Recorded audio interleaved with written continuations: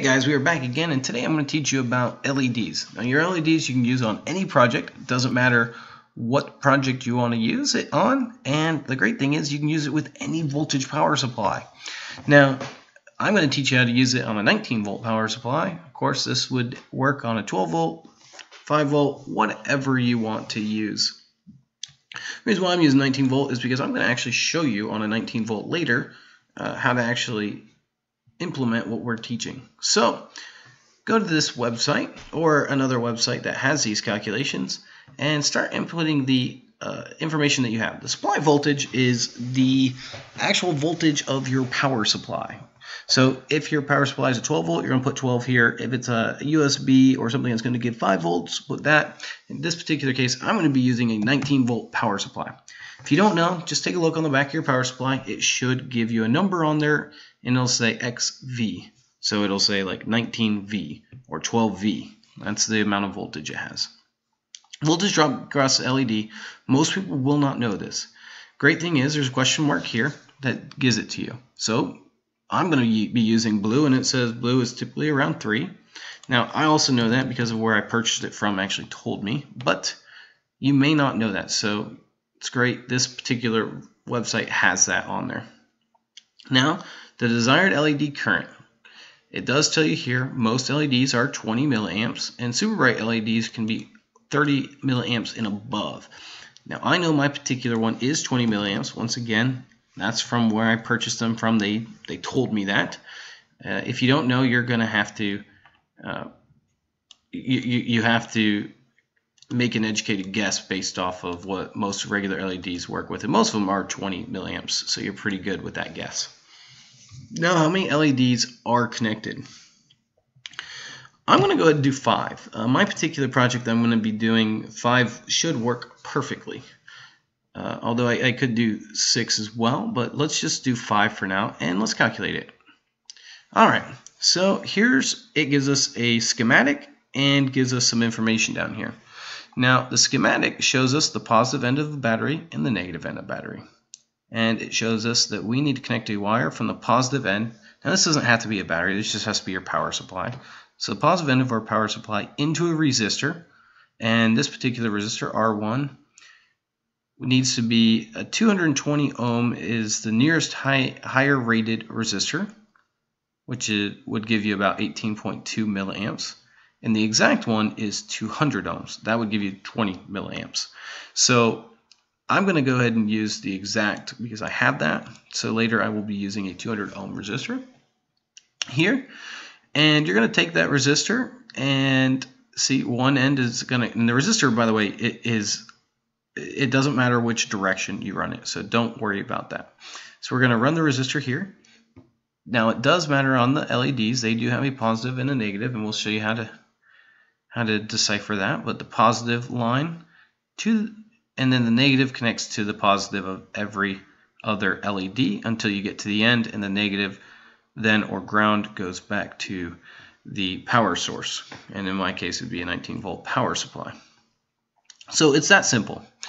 I am going to show you one other thing, and I'm going to show you something like eight LEDs.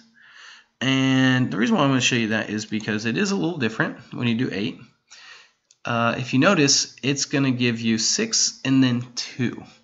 And it's going to give you two different resistors. And it will give you the resistor value. R1 is located here, and R2, which is the second resistor here, is located here. So R1's value is 50 ohms exact, or 56 ohms. And R2 is right here, 650 or 680 ohms. Now, the way you hook that up, it's very simple. You split the positives to the two different resistors. The 680 ohm resistor or 650 ohm would go here, and the 50 ohm resistor would go here, and then the two grounds afterwards, or two negatives, would be combined and go back to the source. Alright guys, now it's that simple. Now I'm going to go ahead and show you for real how we do this.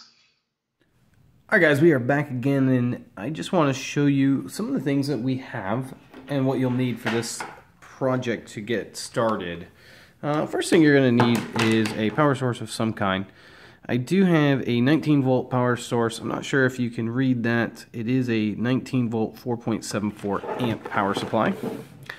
And I also have a power jack here, which we'll just plug into there with a positive and ground sticking out of it. Uh, positive and negative, that makes it easier for you. We have some 200 amp, I'm sorry, 200 ohm resistors here. I only need one of them, so I'm just going to take one out. And that's just what I need for this particular project. And we have all these LEDs. Now, I promised to show you on the LEDs how you can tell which one is a positive and the negative terminal. When you're looking at an LED like this, you're going to notice something about them, and it's hard to see. But you see that one lead is just a little bit longer. The longer lead is the positive. And that's important because we know that this resistor needs to be hooked up to the positive terminal. And we also know that based off of what we used earlier on the website that this positive the negative needs to be connected to a positive. So the shorter one's going to be connected to a longer one on each one of these wires. And they're going to continue to alternate until we have five, and then the fifth one's going to connect back to the ground. Now, I'm not going to waste your time by soldering everything. Instead of soldering everything, let me just use some alligator clips. I have a bunch of alligator clips here that we'll be using. Um, some insulated, some not. It's really not important whether you use that or not. Let's get the power supply out of the way for now and start hooking these up. And I'll hook up a couple and then I'll show you the rest because it's, it's pretty simple. What we're going to do, is we're going to take a positive once again, boom, connect an alligator clip to it. Pretty simple. Now we're going to connect the resistor. Once again, the resistor can go either way. It doesn't matter about being upside down, so don't worry about that. Now once we connect it to the resistor, we're going to take another one. Once again, these alligator clips, it doesn't matter what color you're doing. All right, we're going to connect it to the other end of the resistor, and we're going to connect it to a positive. That's good. Positive on the LED, longer one. Now, for this purpose, I, I am going to go ahead and stretch these out a little. That way they're not connecting or touching each other because you don't want that. Now we're going to take the negative, which is the smaller end, and we're going to connect it to the longer lead on this next one, which is the positive. And we're going to continue to hook up all of these until we have all five connected. Let me pause so I can show you, so I can finish this and you don't have to watch that. All right. So let's put this one back in. So now you can see we have five connected. One, two, three, four, five. Now I did not make the last connection because I wanted to make sure that you could see it. Fifth connection, we just take the negative of that LED and we connect to the ground of that. And now we have all five connected. Now we just need to plug in our power source. ta-da, they all work. So you see all five are on and they are very bright. In fact, let's shut off some lights. You can see that they are very bright. So they'd work within any project that you want to do. Pretty neat. Well, now you know how to hook up LEDs in any one of your projects. So uh, go ahead and start doing it. Let me know what you use these for and show me some projects if you finished them. All right, guys, thanks. I hope you enjoyed it, and if so, give it a thumbs up.